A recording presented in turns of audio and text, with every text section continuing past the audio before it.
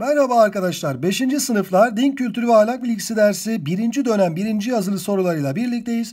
Bu yazılımızın ilk bölümünde bir boşluk doldurma sorusu çözeceğiz. Ardından çoktan seçmeli yani test sorularımızı çözmeye başlayacağız. Sınavımızın pdf halini videonun açıklama bölümündeki linkten indirerek kendiniz de bu sınavı evinizde kalemle çözerek daha e, hazırlıklı olarak videoya başlayabilirsiniz. Haydi eğer hazırsanız ilk sorumuza başlayalım. İlk sorumuzun puan değeri 10 puan arkadaşlar. Şimdi burada zaten 5 tane madde var. Her biri 2 puan. Yukarıdaki kelimelerin anlamlarını bilmemiz gerekiyor.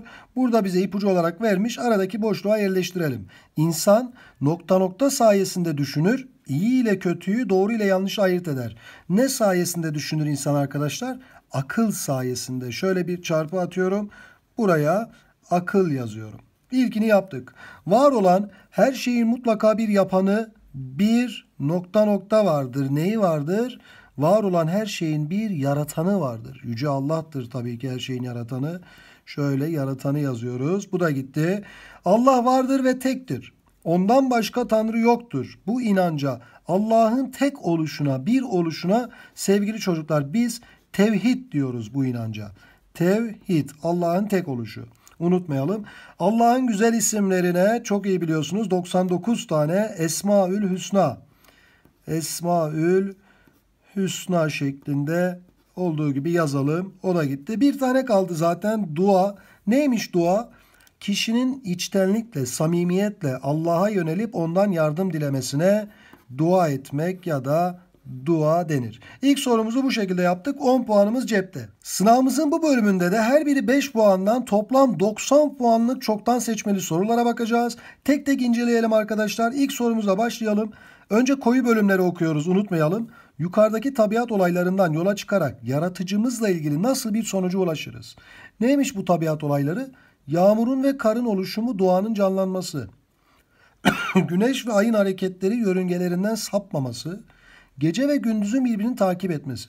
Bakın hepsi bir nizam, bir düzen içerisinde oluyor. Birbirini takip ediyor ve yörüngelerinden çıkmıyorlar. Bir yörünge etrafında dönüyorlar. Yağmurun ve karın nasıl oluştuğu yanlış. Güneş ve ayın yörüngesinin nasıl olduğu yanlış. Gece ve gündüzün insan için önemi yanlış. Evrende Allah tarafından yaratılan bir düzen olduğunu anlıyoruz. Nizam yani uygun hareket ettiklerini anlıyoruz. İlk sorumuz D şıkkı çocuklar. Sırada ikinci ve üçüncü sorularımız var. İkisini birlikte çözelim. Yukarıdaki boşluğa getirilecek en doğru sözcük. İnsan Allah'ın ona verdiği inanç, akıl, kalp, duygu ile kendini ve çevresini tanımaya çalışır. Varlıkların nasıl meydana geldiğini düşünür, araştırır. Evet bu işleri kim yapar arkadaşlar? Tabii ki akıl yapar. Üzerinde çok fazla durulacak bir soru değil. Akıl ile biz düşünüp araştırıyoruz. Neyin niçin yaratıldığını anlıyoruz. Üçüncü soruya geçtiğimizde yine soru kökünü okuyoruz evrene yani dünyaya bakış açısı böyle olan birisinin hangisini kabul etmediği. Ha, neyi kabul etmiyordur böyle bakan biri? Nasıl bakan birisi? Çeşitli galaksiler, gezegenler ve milyonlarca yıldızdan oluşan evren genişliği ve büyüklüğüyle insanları hayrete düşürür. Bu haliyle evren benzersiz bir sanatçının eseri olduğu görüntüsünü verir. Yani tüm her şeye gücü yeten birisi yapmıştır diyor evreni. Bu düzenden dolayı. Allah'ın varlığını kabul ediyor. Birisi yapmış diyor. Yaratıcının gücünün büyüklüğünü, kudretinin büyüklüğünü de kabul ediyor. Benzersiz bir sanatçı. Evrenin kendi düzenini kurduğunu böyle bir şeyi kabul edebilir mi? Tabii ki kabul edemez. Bunlar başıboş değil, kendiliğinden olacak şeyler değil. Birisi yaratmış bunu diyor. Yaratıcının tek olduğunu kabul etmiştir. Cevabımız C şıkkı. İkişer ikişer sorularımızı çözmeye devam edelim. 4 ve 5. sorulara bakalım çocuklar. Çalışırım, yardımına güvenirim ve başarırım. Nok cümlesindeki noktalı yere hangisi yazılmalıdır? Şimdi kimin yardımına güvenir? Dedesinin, babasının, öğretmeninin, Allah'ın. Tabii ki en genel anlamda biz her şeyde kimden yardım bekleyeceğiz? Allah'tan yardım bekleyeceğiz. En büyük yardımcımız Yüce Allah olsun diyeceğiz. Beşinci soruya baktığımızda Allah'ın varlığına inanan ve kendisini sürekli görüp gözettiğini bilen bir insan aşağıdaki davranışlardan hangisini yapmamalıdır. Soru köklerine dikkat ediyoruz olumsuz ifadelere. Dürüst ve doğru sözlü olmalı tabii ki. Başkalarına zarar vermek ya böyle bir şey Allah'tan korkan birisi yapar mı bunu?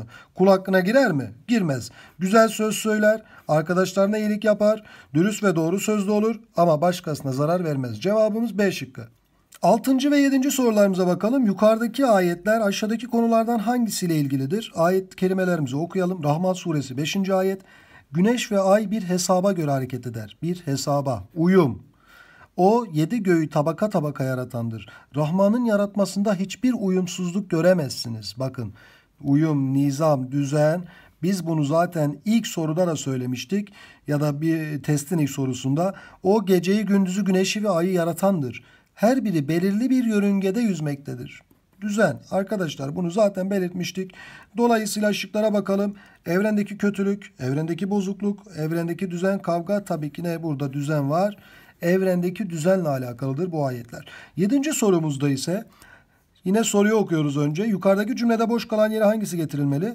Her resmin bir ressamı, her binanın bir ustası, mimarı, bu muhteşem düzendeki evrenin bir yaratıcısı vardır. Hiçbir şey başıboş değildir. Tamam arkadaşlar? Bir iğnenin bile ustası vardır. Onu düşünelim.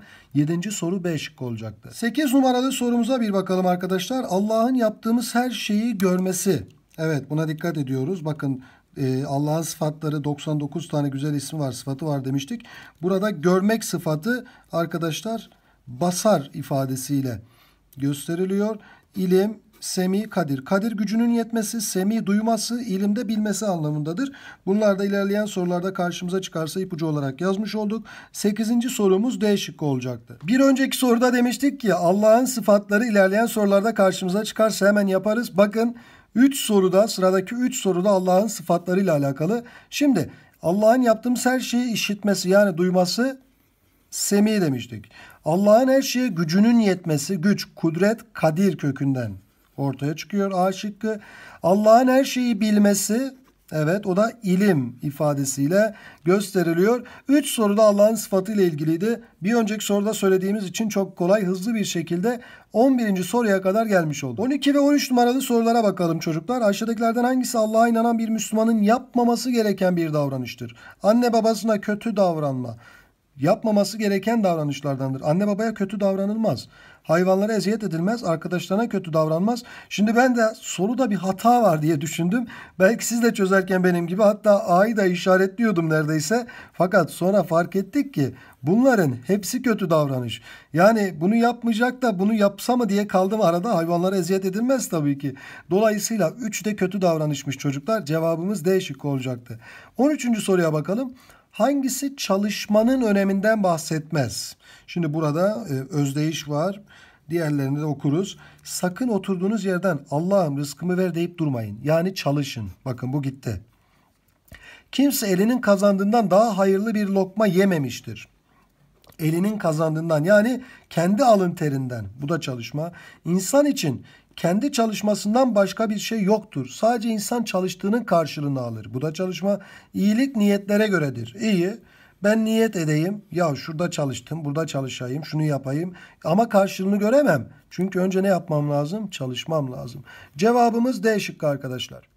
Yazılımızın son bölümüne doğru geldiğimizde kısa bir hatırlatma yapalım. Sevgili çocuklar diğer derslerden de bir sürü örnek yazılı paylaşıyoruz sizlerle. Yine siz de kanalımıza ücretsiz bir şekilde abone olarak bildirimlerini açtığınız takdirde yazılarımızdan anında haberdar olabilirsiniz. Haydi bakalım şimdi devam edelim. 14. soru.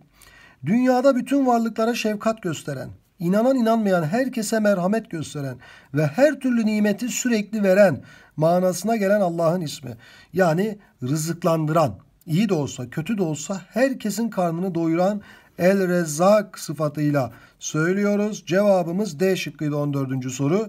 15'e baktığımızda ahirette sadece yalnız Allah'a inanan kullarına rahmet ve merhamet eden manasına gelen Allah'ın ismi aşağıdaki hangi seçenekte doğru verilmiştir? Merhamet eden, Allah'a inananları affeden, rahim sıfatıyla karşılayacağız arkadaşlar. Bu soruyu da 15. sorumuz D şıkkı oldu.